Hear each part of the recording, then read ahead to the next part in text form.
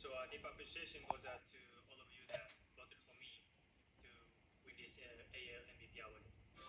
MVP 獲得を愛犬デコピンと祝福した大谷タキシード姿でのツーショットを今日公開不機嫌そうな表情になぜ彼が悲しそうなのかわからないとジョークの一文を添えた To my fellow recipients, congratulations to all of you that and the years you had.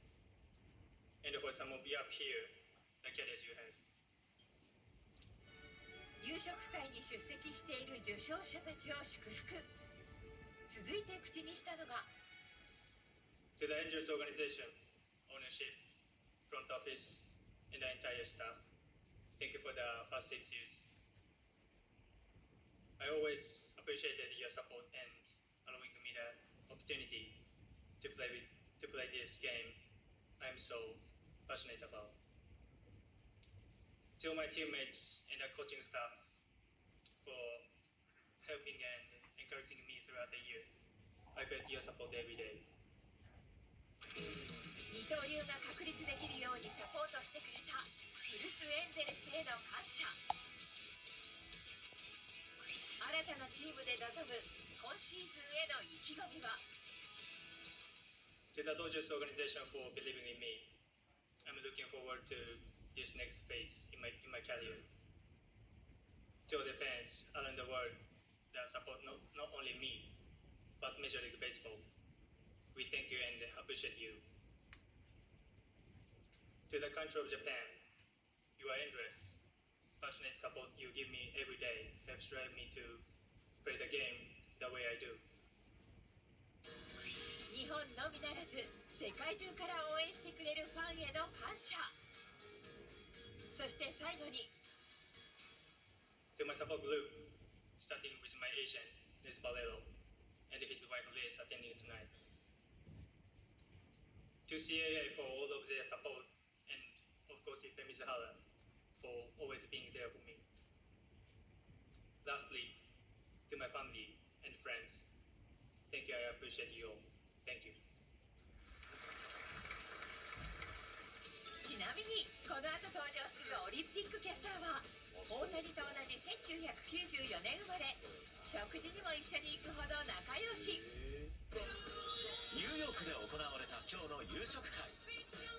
出席者に話を聞こうと会場の外で待っていると動画撮影中の見覚えのある男を発見。ですかね。このスーツなんか着るのは。はい。ファンも入場可能ということでおよそ4万6000円を払いミニタニも参加。気になる食事メニューは？最初はサラダが前菜で出まして分厚めのステーキ、まあ、大谷選手お肉結構ねあ頬張って食べてました。で最後にチョコレートケーキが出たんですけど大谷選手って洋菓子も好きなんですよ。和菓子も好きなんですよ。粒あんよりこしあんが好きなんですこれプチ情報なんですよ、はい、大谷選手とね全く同じ空間で全く同じ味を楽しむという貴重な3時間でしたね。はい。もう一人チケットを購入して参加した日本人が。以前「Going」にも出演してくれた元アナウンサーで現在メジャーリーグ担当記者青池夏子さん。2018年の新人王の時に次はカンペなしで喋りますっておっしゃってたんでどうなんだろうなと思っててカンペはあったんですけどすごく流暢に英語を話されてて練習したんじゃないかなっていうのが一番印象に残っててとても素敵なスピーチだったと思います。これちなみにもらいました？記事をまとめたものですかね？お土産にいただきました。この表紙にももちろん大谷。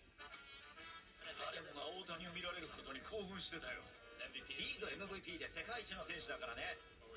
娘が大谷と一緒に写真を撮ってもらった。快く対応してくれたよ。見るかい？